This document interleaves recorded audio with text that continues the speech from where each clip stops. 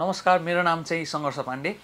Plus two पछि further स्टडीको लागि मैले रिसर्च गर्दाखेरि ब्रिज कन्सल्टेन्सी थाहा पाएँ र मलाई दाईले पनि सजेस्ट गर्नुभयो किनभने दाई पनि यहीँबाट जानुभएको थियो र कोर्स सजेसनहरूदेखि लिएर ब्रिज कन्सल्टेन्सीको सबै टिमले मलाई एकदमै हेल्प गर्नुभयो।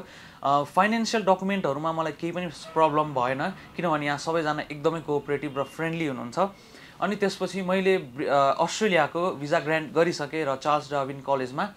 अनि सबैजना एकदमै हेल्पफुल हुनुहुन्छ मलाई इच एन्ड एभ्री एस्पेक्टमा सबैले हेल्प गर्नुभयो। र if you also want visa and you want to feel excellence service you can come to bridge consultancy thank you